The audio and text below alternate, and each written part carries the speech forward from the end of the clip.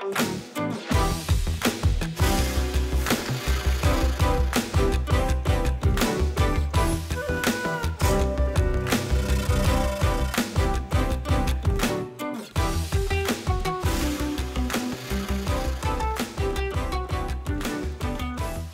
going on? Move The Mouse here, back in Cities Skylines, the town of Rosewood, season 10, episode number 2. And uh, since the last episode, I did two things. I built this one little stretch of road, and that was able to get us to our 850 milestone uh, population count. And then over here, I kind of messed this up in the last episode. And this was a little curvy. Uh, and I figured out, I kind of knew what I did right, right away. So I built this and then built this grid off of where this road connected from. And that wasn't quite the right proportions or distance away. Uh, so I basically redid what I did over here in reverse, connecting from the highway first, building that, and then getting this connected. And that made it a little bit more symmetrical, a little less lopsided, and as a result, doesn't force this road to curve. So um, that, and, and again, I built one street off the middle of kind of our residential area there to uh, to move a couple more people in. So I think let's uh, let's do this. Let's let it play. And let's connect this down one more block before we think about today how to kind of fold this into other parts of the city. So you can have these little kind of microgrids. That's totally fine. But you know what happens when we get to the trees over here? Well, I don't think you know we need to go into the woods, but we certainly could come back with another street over here. Something like that. as we kind of branch off to the left here, this is where we want to start thinking about, you know, how do we fold other neighborhoods in. So I think we're going to buy this one first. Let me reorient. So it's kind of how we've been looking at uh, to the north. I think we're going to go to the west here. Now, in terms of what we can buy off here, can we look at... Yeah. So no shipping if we do a straight 9 square. If we were to go up this way, I think...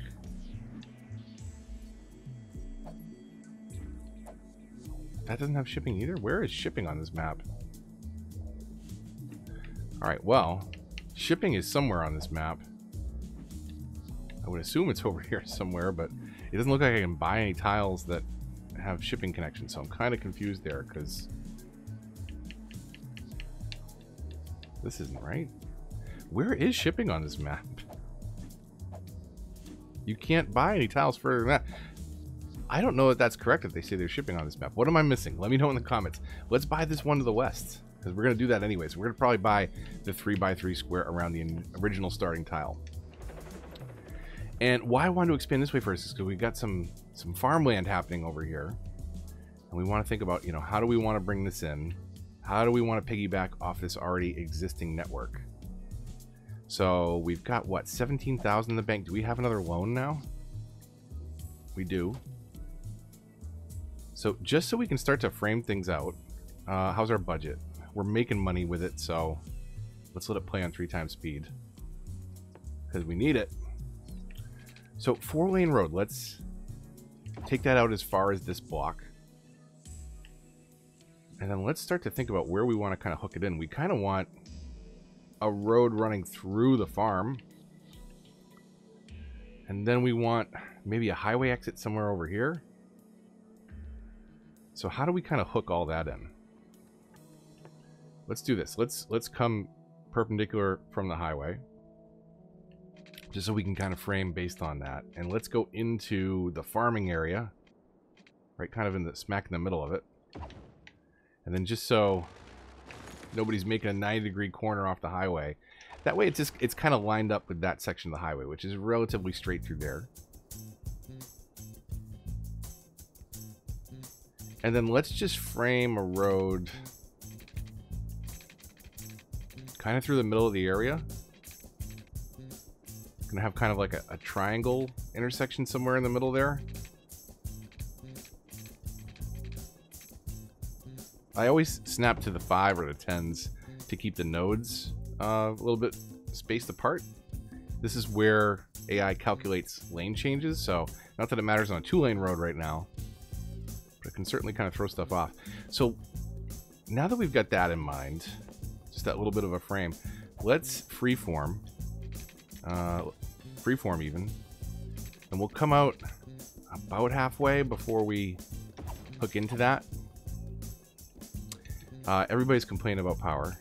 We're going to need a lot of these as we go. How close can we get that in there and still have 8 megawatts of power? That will cover us for about 5 minutes. Then we'll need to drop in another one. Can't wait for the solar updraft tower. Where is that one? It's always a good jump. We get that at 7,500. That's part of the Green Cities DLC also. That's a great uh, station though. They're complaining about power up here, which means that they're using all the electricity. We could uh, make sure these share power on the same grid, so hopefully we won't have to add another one immediately because the industry uh, is using it all. Uh, let's pause real quick. So we unlocked two things at the last milestone, and you'll notice over here there's a little pop-up saying that there's crime because we don't have any police stations. That also means that we don't have any fire stations because we unlocked those at the same time. And I should know better, so let's go ahead and plop one down right in the middle. Yeah, right in the middle, I guess. Can we get a police station on the same block? That's awesome. So there we go. We have health, fire, police, all in the same block right there. That little middle city service block. The problem is they're going to have to go down to come back around, but that's okay. It's going to be problematic for fires that happen over here. But they can they can figure that out. We could do a little turnaround somewhere that hopefully only they would use, but chances are everybody will turn into it it'll just make a really busy intersection. So over this way, we could have a little bit of grid work and have some uh, farms. Do we have the ability to do industries yet? We don't. When do we unlock that? What is it? Population 1300. Okay, so we get that really soon. All right. So let's let's just round out this neighborhood then.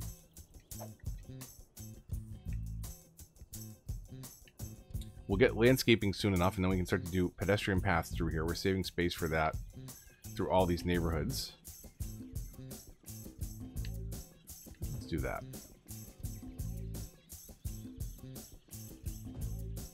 So lots and lots of residential demand. We've got a good chunk of commercial demand as well. So we may as well continue on with our, our main street. Go until the zone starts to break. And, and by that I mean where the road starts to curve, you see that the zones start to get separated a little bit.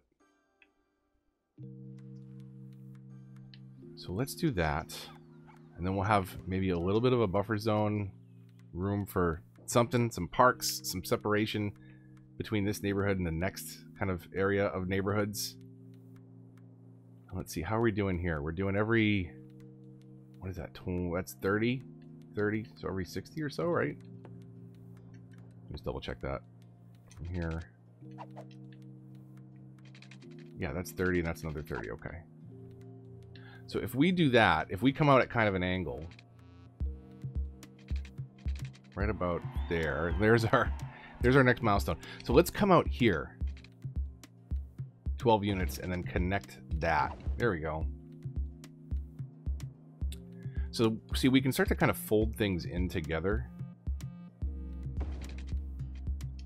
Still maintain a little bit of, uh, a little bit of area for pedestrian paths. Not the best. But, you know, you can still have grids and not necessarily have to have this endless, uh, this endless look. You can have things start to kind of bend and fold into one another. And we'll do this a little bit and keep things tucked in by the trees. And then we'll build, you know, more more off of this this angle now. We obviously didn't connect things correctly or at all. So we'll bring this all the way down here because we'll need it soon enough as we continue to move people in. So we'll make sure we're covering uh, as best we can down the street. That should give everybody water.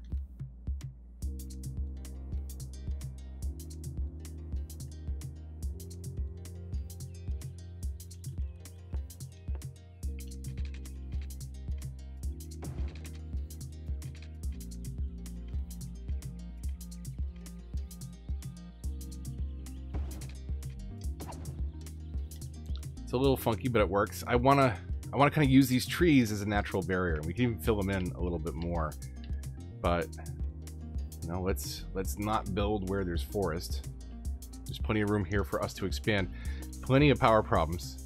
This is going to be a continuing uh, a continuing thing that we'll have to drop in a lot of these until we at least get the advanced wind turbine at 2400 and then what was it 7500 for our next big jump so we're gonna have a lot of a lot of spinning stuff on the map until we get to some of those uh, those larger options for power. Uh, tons of industrial demand. Let's get a little bit more of our residents filled out here and I think we can break out the fill tool because of the way that these break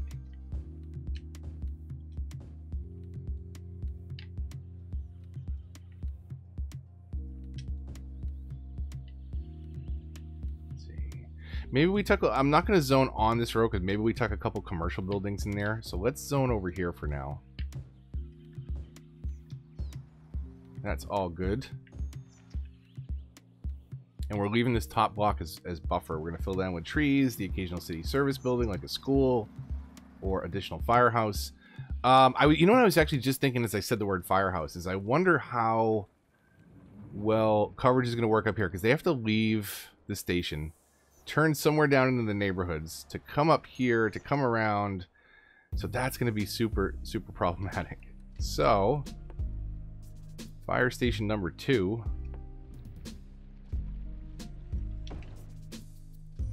Throw them up there for now because we're going to have problems in the industrial area. Looks like they got there in time huh?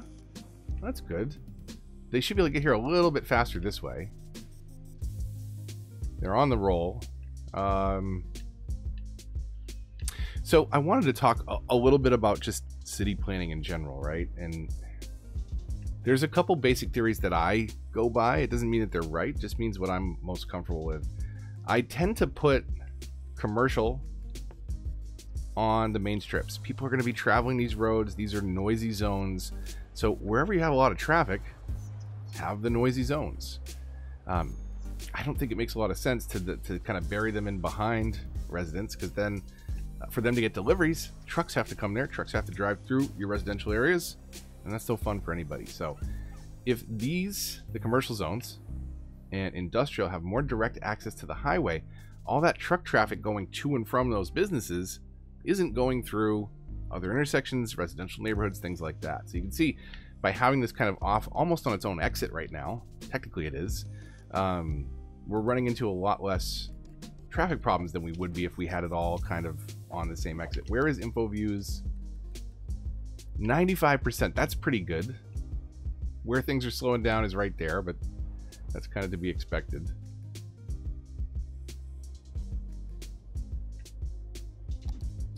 Uh, power, again, constant battle. There's gonna be a lot of these. We want there was See, there's a little spot right here where you're getting one less megawatt.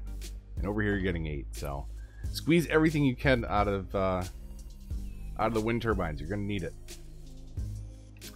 So yeah, if we kind of look from above, yes, it's a grid, but we're starting to, to fold that grid into other parts, right? Into other areas of the city. And we're really sticking with low density on this one. Sorry, I, I started to explain, I think, my, my zoning approach. Uh, and I got distracted. Squirrel moment. Happens a lot. If you're new here, get used to it. But uh, if we jump back into zoning, right? You know, all, all, this noise is happening as a result of commercial businesses. If I jump back into the headphones here, you can see the noisiest parts of our town are our windmills, our industrial, our highway, and our commercial zone. Now, we do have landscaping, but I don't have a ton of money in the bank. But let's do this. Let's pause it for a second. Let's see what kind of trees we have on the map here. So, alders. Which one's this? Oak? Looks like we got some oaks. Definitely some alders. Where's that's that one, right? Yep. Oaks, alders.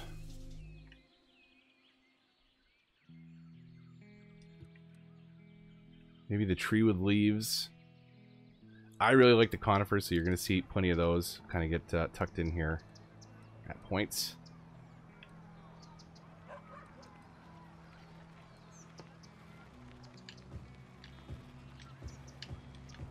So I'm just going to kind of spam some of these around so they don't look too organized, hopefully.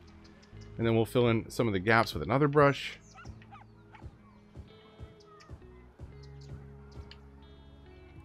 And then why don't we do at least one more.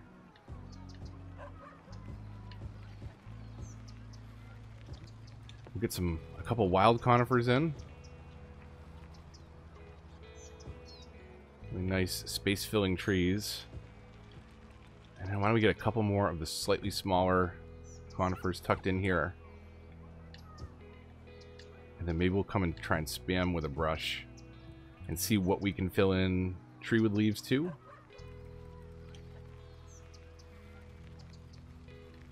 Not a lot of uh, a lot of trees popping in there. This is a little bit easier on uh, on PC, which I'll be getting to it at some point.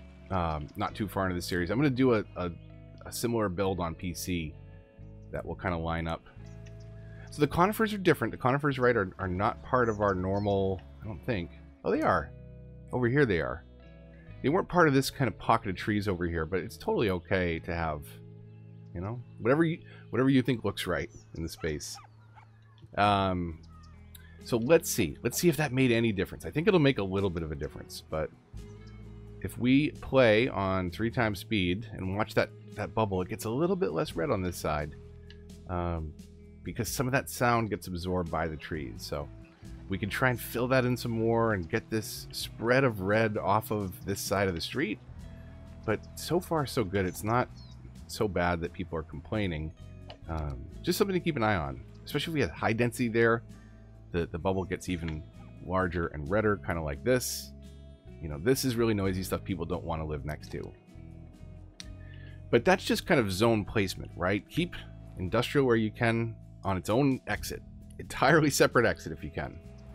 Um, the downside to that is people go there to work, so maybe give them a, a heavy traffic banned road. Does this line up? Actually, this would be awesome if this lines up. I... It's really close. So we could do that, but I don't think we don't have heavy traffic ban yet, do we? Policies. Population of 5,000. So at 5,000, we'll connect a road through here. We'll say no heavy trucks, and that should only allow, you know, uh, motor vehicles and city service vehicles to travel up and down through there. And uh, the traffic will still use the truck traffic will still use this highway loop we've created. Now we're not utilizing this at all. I was thinking like we might we might have more industry before we got the uh, the demand, or, or rather, I should say, we, we were going to have more industrial demand than we were going to have space for. But we made it over here. We can kind of build off of it to start with the, the regular zoning and then uh, build it into things like uh, farming. So, so this is kind of a a weird shift here, right? Let's let's think about and and keep in mind from like a small town perspective. Come off the highway, four lane main street, kind of carries you through here. But then maybe it dips down at the end of this zone. Let's do that. Let's see what this looks like. What if this became a two-lane road? You got a highway exit over here. This becomes almost like a, a, a dead zone, a no man's land. We can remind ourselves of that by planting some trees. Now you gotta be careful with the trees because you can actually ruin uh, farmland that you'll never get back. In fact, I, I made a little bit of this, a little green over here. But that's just kind of a space saver. So imagine you have your main street, kind of cuts down to one lane each way, I should say. And you've got kind of this, you know, dead zone, and then you've got another highway exit and some farmland out this way. It's one of the best patches on the map. The other one is way up there by the uh, train tracks, and we will unlock that, but we probably won't turn that into farms as much as just bring the, the train into our map. So for right now, because I haven't really decided on what we're going to do, let's paint all this. We'll just go all the way down for now. It's fine. We'll run water down here. And then we'll move in, actually before I forget, uh, districts.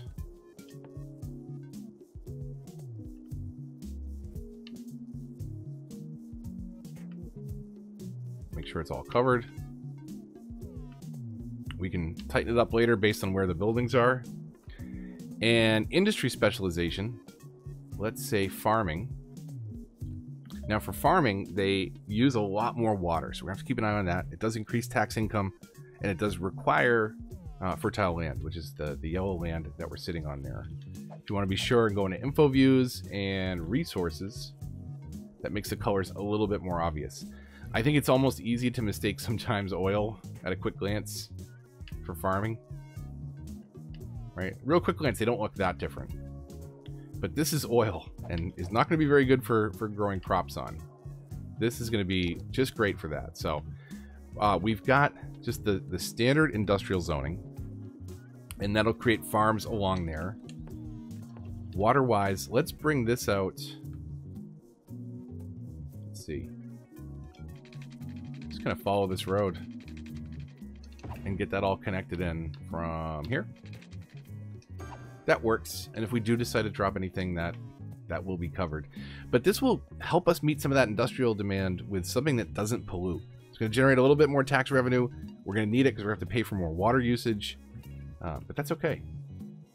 It's it's help it's uh, helping keep our city green and relatively pollution free. Ignore that. Uh... So we've got the one water pump, and we're still that far into the green for water. That's crazy to me. I think that's going to change a lot as uh, as we start having more and more farms crop up here. So we've got all that industrial demand. Uh, let's see. Let's see what power looks like over here before we... Ooh. That's actually pretty good. There was an 8 spot. Let's take that 8 spot and connect that in.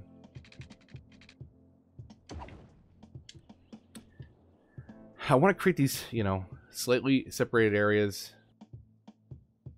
So this might actually be really good over here, come to think of it, for um, a transport hub. We could have like the, the bus station, maybe hook up a train line. We'll get uh, trams going at some point. I think trams are going to be a really nice look for our, our kind of main street here. We'll have to find a way to kind of turn them here, though. Come to think of it, because can you do two-lane street with tram? Oh, you can. Okay, so we'll we'll figure it out. We'll make it work. But yeah, this might actually be nice instead of expanding more industry up here to do kind of a transport hub. Maybe have, uh, I don't know, university campus up there. I'll give you some of my thoughts on kind of what I was thinking of expanding in, an, in a nine square build, right? Over here to the right, I was thinking nature preserve, nature reserve. One of them goes in a jar and has fruit in it. Uh, the other one uh, is for, you know, wildlife. So we'll, we'll do that one. Um, up here, this is kind of a dead corner of the map, but maybe tucking a few things up by the highway. We can hook into the train uh, rails up there. And obviously some more highway and uh, building with inside of the mountain there. So if we look to the south, I don't want to build on the other side of the mountain. I just want that little pocket of, of land on the waterfront, really. So I think this is going to be an interesting build, but this is kind of where we have to start planning things out and thinking about, you know, again, we don't want just one massive grid. And, and grids next to grids are okay as long as they kind of fold together in weird ways. And I think that makes a lot of sense. We're trying to minimize also the, the intersections with our main road. So if you see, we go 60 units before we have an intersection that turns off of this road. This is really about carrying traffic up and down this main drag, getting them on and off the highway. But in terms of turning into residential, you can turn there, or you can turn there, or there, right? So it, we're really spacing out uh, the traffic and the potential uh, problems that they run into at intersections. Now, we do have traffic lights at all these four lane stops, and I'm okay with that at the highway entrance and exit. If we look at info views, we have a little bit of traffic here. I think that's to be expected. We could turn this light off and let these people have the right of way. I don't know how that will do, but let's try it. Let's see. So if we stop the traffic on the T, right? It doesn't look like traffic is so heavy because of this light over here, probably. Um, looks like that will keep things functioning. What I normally do in these cases is, is if this is a road that is carrying traffic in and out of the zone, stop the side traffic. Like that. Whoops. And let people just kind of move along that road so that hopefully there's less backup on there. I'm not going to come in here and do all the intersections. I just want to kind of show you my thought there. But right away, that intersection's flowing a little bit better. Is it? Yeah. 94%, not too bad. So our traffic is what? Up here? on that little turnaround?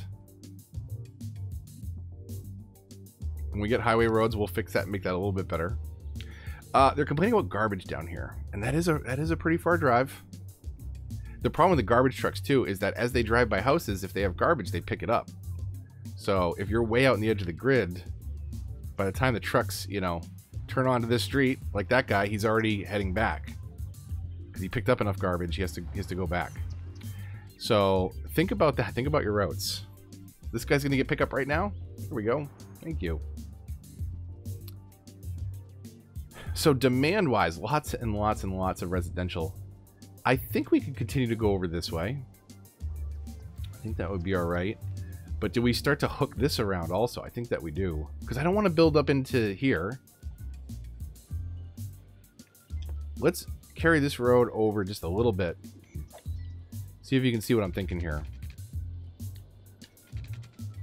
So we want that to kind of curve with the oil pocket, as it were that changing color in the grass. But we could use this to kind of bring traffic down to that tip. We won't have as much built up on that side of the island, or that side of the water, I should say. The island. Um, the opposite of an island. So that, that'll help right there. And then we can kind of do what we did before, which is, what about every 60? Come down here. That too far? That's too far. Let's let's come down to here. And we'll come straight off of this. We'll come down 12 units, and then let's just build a straight road to there. We've got a little bit of dead space. That's okay. So you have these areas of the town that are still very much a grid, but not but not compared to each other, right? They start to you start to get these rhombuses in different shapes. And all kinds of trash problems. Um, do we do a second dump up here? Or do we need to move it and give them another way? Do we do another city service road kind of on what will be this highway exit? Do we bring it down this way? Say 40 units? And what's the street that runs predominantly through here? I guess they all do. Let's do this one. And let's connect it to, since we're not going to be zoning, I don't think, right here. That doesn't really matter as much. So let's get a second dump in, because they're complaining a lot. A, a, second recycling plant, I should say. And we can see where that noise and where that pollution bubble happens. And it's not where we have residents living, so that's totally fine. Not enough workers, not enough power. So let's do ourselves a favor. Let's get us all connected in a one power grid again.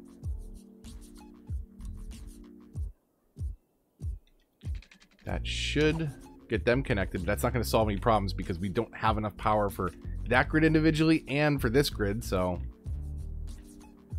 Well, apparently we do when we combine it all. Maybe there was enough left over from the uh, industrial Why are you complaining about garbage? You have a recycling plant right there. Are they That shouldn't be an issue. Power-wise, we're in the yellow again, so... Say hello to, like, the 18th, uh... The 18th wind turbine.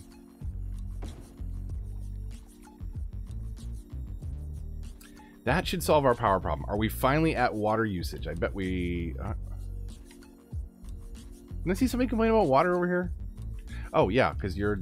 We didn't actually connect this. We'll do that for some redundancy.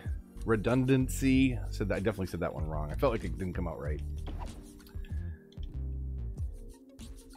But that gets us a pretty good head start on expanding our city. Now, I'm going to use these a lot as, as temporary placeholders. We're going to come up with, you know, a, a, couple farm properties, a couple industries that handle farming, um, and we'll make it much more organized. Maybe we will tuck a few of these buildings in here or there. We're not going to keep, you know, just a ton of farms down this strip.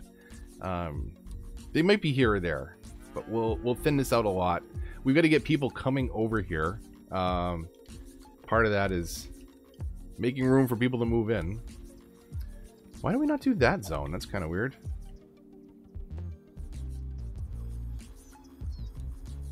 Oh, because I built that street right at the start of the episode. And only zoned along it to, to make our uh, our next population milestone. Can fill these in. We'll continue to leave this block as a buffer zone. I think, should we think about, should we pause it real quick and move these power lines? Because they're cutting through zones at this point. Let's do that. We'll come over here, connect from the backside of this block. So we don't eat up a, a real weird line of trees. I'll kind of keep it parallel to the street there. And yeah, let's just do a little bit of zoning and we'll call it a day. Um, hopefully, you know, I think this build's going to be less about the step-by-step -step building. I've done it a lot, but I, I want to talk more about the theory behind this and why I'm doing certain things. We're going to keep this build very small.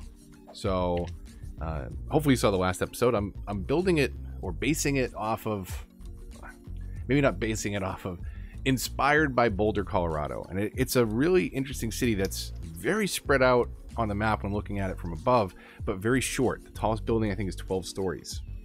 So it has a, a very different feel. It's got, you know, the Midwest of America to the east that's very flat. Uh, and then it's sitting right on the edge of the Rocky Mountains. There, I mean, there's a gigantic mountain right on the edge of the town, and it, it's just, it's a really cool look. And when I saw Lavender Lake's map, I kind of felt like, you know, that was the case, right? That, you know, you kind of had these mountains cropping up out of a relatively flat building space. So I thought it would be kind of cool to, to kind of try and replicate or, or reimagine some of the ideas behind Boulder um, in Lavender Lake. So I wanted to really focus on city planning today, but you know, so sometimes I get distracted. But hopefully you have some of the ideas behind, you know, where we're going with this build. We'll talk about each area as we expand out. There's all kinds of stuff that we unlocked. So every couple episodes we'll go back and fine tune and make sure we haven't forgotten things uh, like high school. Did we unlock high school yet, or is that next? Yeah. Okay, so real quick. Uh, eligibility 567. We're already at our next milestone. Perfect. So this is a little too big. It's going to eat up some of those buildings on the other side of the street. So let's commit to it here. Oh, that would have been so nice. Would have been so nice if that fit. And it might have on a grid. Does it fit sideways? It doesn't. It's just too big. So you got to go with an extra space there. So we'll do this. That's the that's the Institute of Creative Arts. Same as with the regular schools. It's more expensive and it handles less students. So uh, 24,560 a week, 1,000 capacity, 30,720 a week, 800 capacity. So everything about Green Cities is more expensive. So hopefully it will blend in and help. It, it uses less power and water in the process, which is where you get some of that money back, but it's by no means a, a perfect scenario. Uh, hopefully you're enjoying the series. It, it's going to be a little different, but I'm I'm super excited about this build, and because I'm going at it from a kind of a different perspective, I'm going to talk more about the process this time and step by step. If you enjoyed today's video, likes, comments, and shares all help the channel a lot and are all greatly appreciated. Subscribe if you're new, considering the bell to get notifications for updates in this and other series. Follow me on Twitter and join the Discord if you want to get involved in the discussion. If you'd like to support the channel, links to that and all those other things in the description down below. But until the next one, when we'll see what we missed and continue to build and expand, this is Move the Mouse, signing off.